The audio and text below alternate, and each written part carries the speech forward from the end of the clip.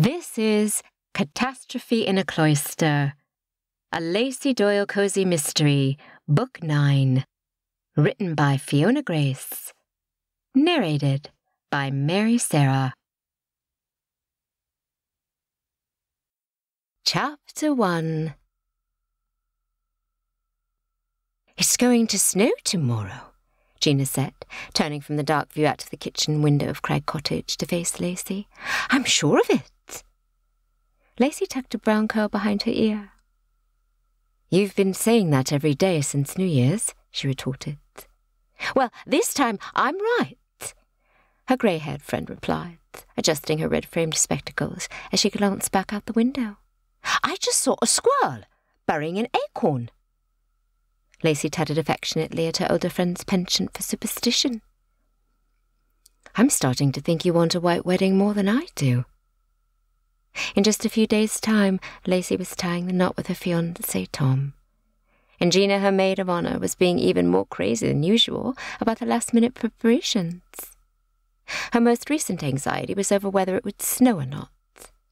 Since the theme of the wedding was winter wonderland, Lacey would of course love it if it snowed, but she wasn't about to get stressed over something she had no control over. Gina, on the other hand.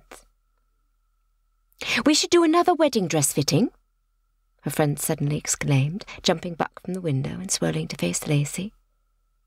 I did one yesterday, Lacey replied. Yes, but it's better to do small adjustments now rather than wait until the actual day to find out we need to do a big one. Lacey smirked.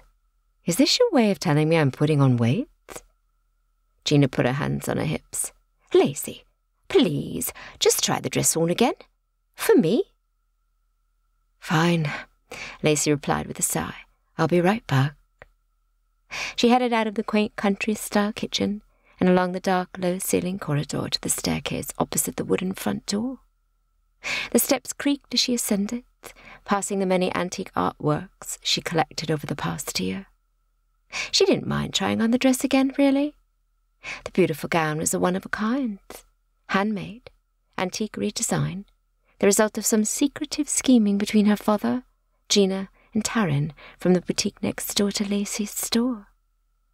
It couldn't be more perfect for a vintage lover like Lacey, and trying it on always made her feel like a million bucks. She went into the large master bedroom at the front of the house, where long white lace curtains hung either side of the beautiful French doors that opened onto the balcony. As she trotted inside, Chester, her English shepherd, stirred from his slumber at the foot of her four-poster bed. He raised his head, blinked at her, and yawned deeply. You and me both, Chester, Lacey said, catching his yawn and yawning herself. Wedding prep is exhausting. She went over to the beechwood closet. I swear these days I wake up tired. She pulled open the closet doors, revealing the gorgeous wedding gown in all its glory, and let out a sigh of admiration. Just think, in a few days she'd be married to Tom. It was so close now she was starting to feel queasy with nerves, which was understandable, given her complicated family history. Speaking of family, Lacey headed over to her bedside dresser and checked the calendar.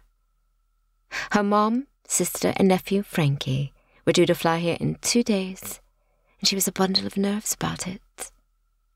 It was their first face to face meeting since Lacey had dropped the bombshell on them that she'd tracked down their long lost father frank.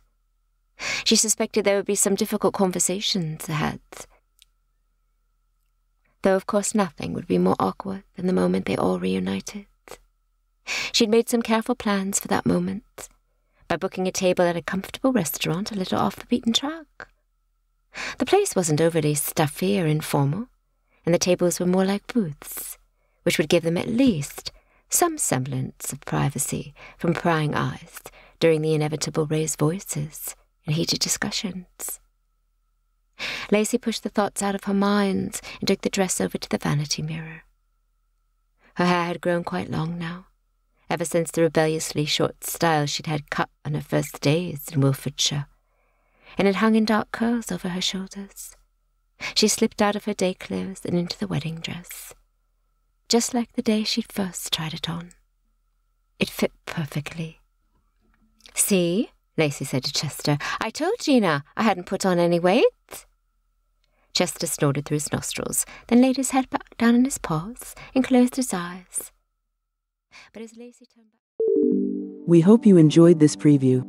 To continue listening to this audiobook on Google Play Books, use the link in the video description.